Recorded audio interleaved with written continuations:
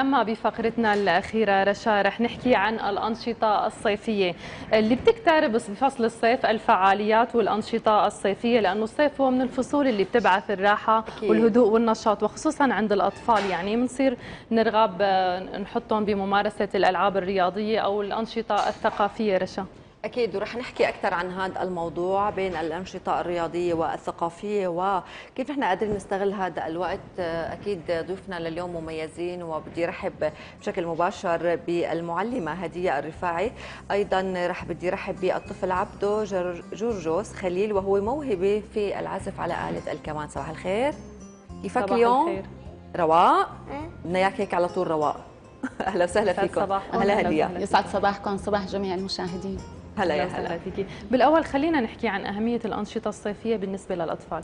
الأنشطة الصيفية طبعا هي بتتميز بأنها هي مساحة زمنية حرة بعد انقضاء عام دراسي كامل. آه، بتتميز بتنفيذ الأنشطة الترفيهية اللي بتلبي رغبات الطفل وحاجاته النفسية وطاقاته. تكمن أهميتها في كونها هي عامل مهم لإبراز الإمكانات وتحقيق الذات وإبعاد الطفل عن الروتين والملل وتحقيق الراحة النفسية. وأيضا أعطائه فرصة ل آه، ملء الوقت بما هو مفيد وممتع فينا نقول هي بتساعد على استقلالية الطفل يعني في بإمكانه ينفذ أي نشاط بمفرده. هون بحب نوه على شغلة مهمة إنه نحن لازم نترك للطفل المجال ليختار نوع النشاط الملائم لإمكاناته ورغباته. فهون الطفل هو قادر على إنه يطور آه، موهبته. ونحن هون الدور الأكبر بيكون كتربويين. قلنا في مساعدة الطفل على صقل شخصيته وبالتالي صقل موهبته وتنميته. وهون بزيد عنده دافع الدافعية والثقة بالنفس. والإبداع بالنهاية. ورح نوصل لمرحلة التميز والإبداع وفي عندنا أطفال موهوبين في شتى المجالات مثل الطفل عبدو جورجس خليل. عبدو صباح الخير. صباح النور. خلينا هيك ندردش نحن وياك. قد إيه عمرك؟ تسع سنين. أي صف أنت؟ خامس؟ رابع. رابع, رابع. خلصنا مدرسة؟ إيه. أخذنا جلاء. اليوم في جلاءات. أخذت الجلاء؟ آه لا لسه. لسه. ما أخذت. هلأ آه ماسك الكمان وهيك قصص. أنت بتعرف هي الآلة قديش الناس بتحبها؟ بعرف. قديش لك قد إيه لك عم تتعلم عليها؟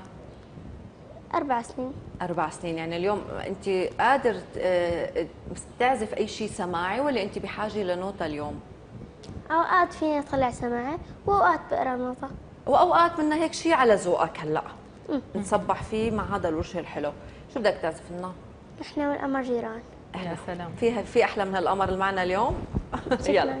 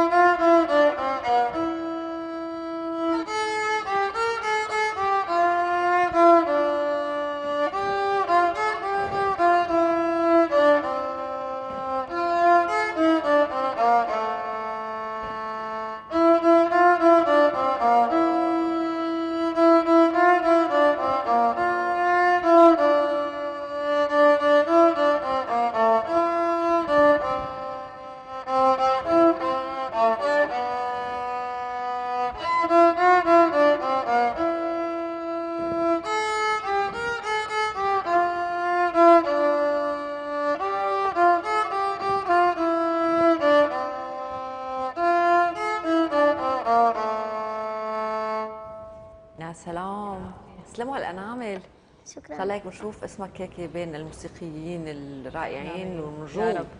آه، خلينا نحكي عن كيفية مشاركة الأطفال بعدنا ما شفنا هالموهبة الجميلة. كيفية مشاركة الأطفال بهي الأنشطة ودمجهم فيها؟ طبعا هاي الأنشطة تنفذ عبر مبادرتي اللي هي اسمها تميز بمواهبك وتفرد بإبداعك اللي هي مبادرة تطوعية مجانية تربوية وطبعا صارت رسمية بدعم وإشراف من وزارة التربية وزارة الشؤون الاجتماعية. وطبعا تتميز مبادرتنا مشاركة جميع الأطفال مختلف الصفوف من جميع المحافظات وهي عبر المواقع الإلكترونية. طبعا يعني في عندنا نواحي من جميع المجالات. في عندنا النواحي العلمية الأدبية الفنية الاجتماعية الوطنية. آه، الترفيهية كمان في مجالات الانشطه الأعمال اليدوية وتوالف البيئة. بشارك الأطفال طبعا يعني مبادرتنا من ثلاث سنوات ولا زالت مستمرة. بشارك الأطفال طبعا عبر الانضمام. الانضمام للرابط المشاركة وبشاركوا بيختاروا نوع النشاط أو فينا نساعدهم على اختيار آه الموهبة اللي بتلائم حاجاتهم. طبعا في نحن بنختار الاطفال الموهوبين والمتميزين بندفعهم لبوادر التميز والإبداع. بنختار الاطفال الاكثر تميزا وابداعا يعني مساعدة طبعا الأهل والمجتمع المحلي والجهات الحكومية ووسائل التواصل الاجتماعي. أكيد اليوم أي إبداع اليوم بحاجة للدعم لينجح عم نشوف هيك أعمال حلوة. خلينا نحكي عنها اليوم. يمكن هذا كنا كثير نشتغل عليه بالمرحلة. كنا يعني حلمنا كنا هيك نعمل له إسقاط على هيك مشاريع. يعني نحن كيف بنحب البيت كيف بنحب المدرسة. خيال الطفل اليوم بيلعب دور كثير مهم بهيك قصص. خلينا نحكي بس نركز على موضوع النادي الصيفي الالكتروني يعني. خلينا نشرح أكثر عنه. شو يعني نادي صيفي الكتروني يعني؟ طبعا هي المبادرة بمثابة نادي صيفي إلكتروني يعني الطفل بيختار الأنشطة اللي بتناسب موهبته. يعني مثلا هلأ عندنا الأطفال المتميزين الأكثر تميزا مثل الطفل عبده اختاروا الأنشطة اليدوية اللي بتساعدهم بتدفعهم على الاختراع والابتكار. يعني الطفل بصير عنده بصير مبتكر صغير مكتشف صغير من سن مبكرة. يعني نحن بنختار المواضيع اللي بتناسب كل مجالات الحياة مثلا مواضيع وطنية مثل هون في عنا عمل وطني بيرمز للسلام وللمحبة وللتآلف طيب مين اللي مساوى هذا المشروع؟ هذا الطفل عبد اعطيته الأفكار طبعا هو نفذها والله برافو اليوم مبدع مو بس بالعزف يعني عبتوا اليوم على جميع الجبهات انت اليوم. يعني بعمر صغير يعني كثير حلو. هو طبعا في عنا عن البيئة. حلو كمان عن جد. عن البيئة مثلا هذا بركان عن السلام المرورية. في عنا عن الزلزال بمناسبة طبعا هدول كمان رسم عبده كمان وأنا حافظ كمان بالإنجليزي عنه. حلو. دعم أطفال سوريا ل ظاهرة حدوث أثناء حدوث ظاهرة الزلازل؟ يعني ما شاء الله اليوم ماميتك اللي مرافقتنا بالاستوديو ماميتك أكيد نصبح عليك مدام وأكيد دائما الأهل هن الداعم الأكبر أكيد. بيكون ب... وبالتشاركية مع الكادر المدرسي التعليمي والتدريبي. يعني في شغلات كثير حلوة مرقوا بالرسوم بس خلينا هيك نقطع بشكل سريع لعند عبدو بمعزوفة سريعة. شو رأيك؟ شو بدك تعزف لنا سنان سنان. ما أحلى ان نعيش إيه حلو. أحلى ان نعيش سنان يا سنان. رجعوا بذاكرتكم لورا. يلا سمعنا عبدو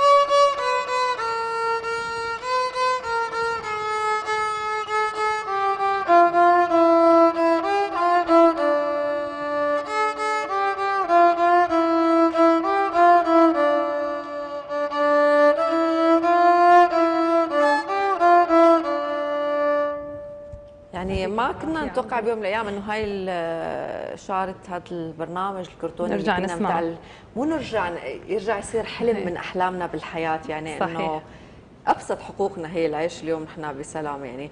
فشكرا هيك لهال رجعتنا شوي هيك بقصص كثير حلوة بحياتنا. شكرا كثير عبدو المتميز باكثر من مجال. خلينا نحكي عن مدى مميزات هي الأنشطة فعاليتها. قديش هي مهمة خصوصا بالتربية يعني إنه وقت الطفل بيندمج بهي الأنشطة مثل ما بنقول أحسن ما يلعب بالشارع طبعا. أو يختلط يخالط بيئات ما منيحة. طبعا خلال تنفيذ هاي الأنشطة طبعا من خلال بيعدي وقت الطفل بفصل الصيف في هذه المبادرة ضمن النادي الصيفي الإلكتروني. يعني الطفل بيصير عنده دافعية كبيرة للعمل وسرعة إنجاز من خلال الروح المشاركة والمنافسة مع بقية الأطفال. بصير عنده دافعية كبيرة للعمل والتعلم واكتشاف أشياء مميزة. طبعا هو حابب يصير متميز وياخذ رقم واحد السباق الأول طبعا. آه، كل طفل بيصير عنده آه، آه، فرص آه، خلق فرص جديدة. وخاصة يعني الطفل المتميز بيصير عنده آه، آه، سرعة إنجاز أكبر للعمل وإتقان أكبر مهارات عالية وقدرات هائلة. طبعا يعني بتصير عنده إتقان واتقان وتفاني بالعمل بيقدم لنا مجهود كبير. يعني مميزاتها كمان حصول على تكريمات. نحن عم نميز الطفل الأكثر تميزا عم ندعم من الجهات الحكومية ومن جهات ومن وزارة التربية. هل أكيد. عم يكون يوم لها دور. طبعاً. آه، خلينا نحكي اليوم عن دعم وزارة التربية للكون آه، للأطفال المميزين للتسهيلات اللي عم تقدم لكم إياها عن تشبيك مع حضرتكم. طبعا بحب أوجه له تحية للسيد الوزير التربية اللي دعم هيك مبادرات وأثنى عليها وقدم لنا كل الوسائل والإمكانات المتاحة وطبعا قدم لنا تكريم يعني لمبادرتنا ولأطفال مبادرتنا. وبتشكر كمان دكتورة ريما زكريا كمان رئيسة المكتب الصحفي قدمت لنا كم- كمان كل التسهيلات والتشجيع. بقية الوزارات كمان تعاونوا معنا وقدموا لنا كل يعني ال- الإمكانات سواء تسهيلات. بالنوادي تسهيلات بالمؤسسات بالمراكز بأي مكان يعني دائما متفاعلين معنا بحاجة. ومستجيبين. هلا بدنا ننتقل لعبده بدك تسمعنا لسه شيء لا. ابدا. لا يا عبدو لا يا عبدو في شعر كمان بدي من تاليفي طيب. شعر. يلا. كمان. دمشق ذرة العرب فيك الحضارة منذ الأزل. أنت يا أقحوانة الحب. سلام لك حكاية الأمل. سلام. لمين هذا الشعر يا عبدو؟ عن أنسي هدية ألفته برافو. برافو. بس عم نقول لك عز... لا ما بدي. عبدو انت حلو وشغلك حلو ومواهبك حلوة تحكي لنا هيك أنت مين مين بيشجعك؟ مين بيشجعك بالبيت؟ أما ومعلمة الأنسي هدية. هدية. هدية. طيب خلينا هيك ننتقل معك اليوم كيف آه، دوركم مع الأهل. اليوم عم ترجعوا لبعض وقت اللي عم بيكون في عندك أي مشكلة عم تتواصلي مع الأهالي. الأهالي وقت اللي عم يشوفوا ابنهم خلال نشاطه ضمن البيت عندهم أي ملاحظة؟ عم يرجعوا لعندكم؟ طبعا الأهالي مندمجين مع أطفالهم مستمرين دائما بالقاعة وعلى تواصل مستمر مع اطفالهم متابعه وإشراف. يعني الأهالي خاصة الأطفال المتميزين باستمرار بشكل مستمر عم يتواصلوا معنا. آه، بهيئوا خاصة من خلال آه، طبعا بقدم لهم توجيهات بخلق آه، بيئة مناسبة وظروف مناسبة مواتية للطفل لحتى يقدر يقدم هالنشاط والتركيز على عدم الضغط على الطفل. طبعا لازم تكون تنفيذ هذه الأنشطة بفترات متزامنة مع كل نشاط وبشكل متناسق ومنظم لكي لا يصاب الطفل بالتعب والإرهاق والنفور يعني خاصة لأنه بيكون متراكم بذهن الطفل ضغوطات نفسية نتاج نتيجة تراكم الطاقات نتيجة الضغوطات النفسية والاجتماعية خلال المراحل المرحلة الدراسية أو العام الدراسي. فهون ال- الأنشطة ممارستها هي تنفيس للطاقات الطاقات الإيجابية الطاقات الإيجابية وإبعاده الحد من الطاقة السلبية ودفعه لمزيد من استمرار من ألوان النجاح. لوقت الأهل مثل ما حكينا في أطفال موهوبين هن بيختاروا النشاط اللي بدهم طبعاً. إياه. آه، في مثلا أنا بدي أحط ابني بهذا النادي أنا بختار له النشاط أو ممكن النادي يختار له هذا النشاط إنه هذا بيناسبك أو لا. كيف ممكن طبعا؟ النشاط على حسب كل مرحلة عمرية يعني في عندنا من ضمن خمس سنوات ل 12 سنة.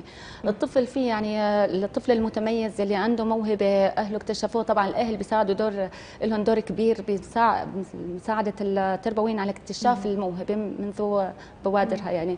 ف يعني الأهل لهم دور كبير بالتوجيه الطفل. طيب هدية هيك بسؤال أخير اول شيء عبدو أنت من وين جاينا اليوم؟ أنا محافظ حمص. أهلا وسهلا.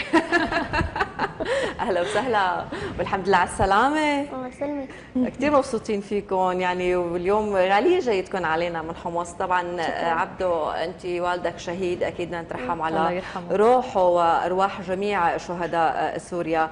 آه، آه، بالختام الست هدية يعني هيك اليوم شو حابة تقولي اليوم؟ كونه عندك اليوم براعم عندك اليوم جيل حضرتك عم تشتغلي عليه آه، للمستقبل يعني. طبعا موجه الأهالي والتربويين بعطي قدم نصائح للأهالي لاكتشاف مواهب أطفالهم للتعامل مع أطفالهم برفق وتهيئة الظروف والإمكانات لكل طفل.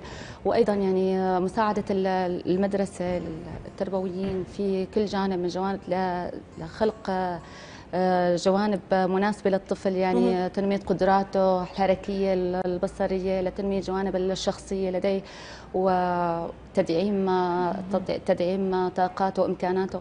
أيضا يعني وجه الجهات جميع المعلمين لكشف التعامل مع الأطفال آه، طبعا بكل مرحلة في كل منهاج دراسي يجب أن يكون في أنشطة مرافقة لحتى نعم. الطفل آه، حتى يكون عنده حافز أكبر ودافعية وتنميه ليصير عندنا تعزيز لهالقيم الإيجابية الأخلاقية وال مجابهه أكيد بنهاية اليوم القصة تشاركيه ان كان من حضرتكم من الأهل من الجهات المعنيه والمختصة تقديم التسهيلات ودائما إلقاء الضوء على هيك مواهب كثير مهم.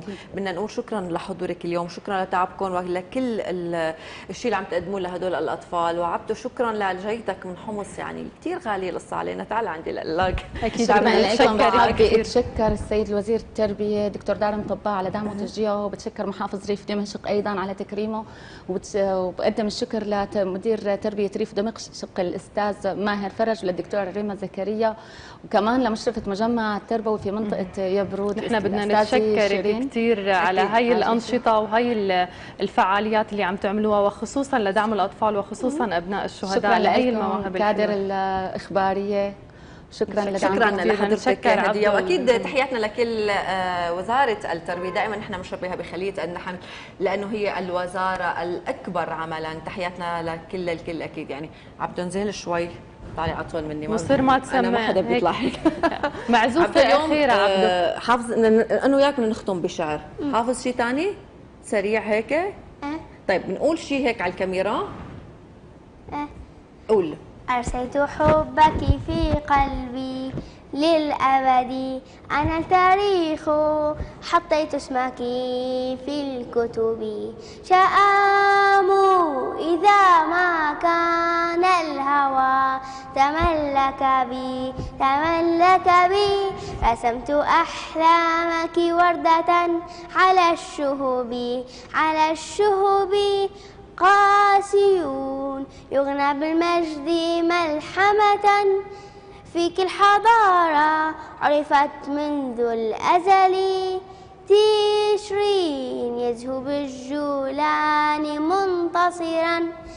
راية الحق ترفرف على الأمل على الأمل.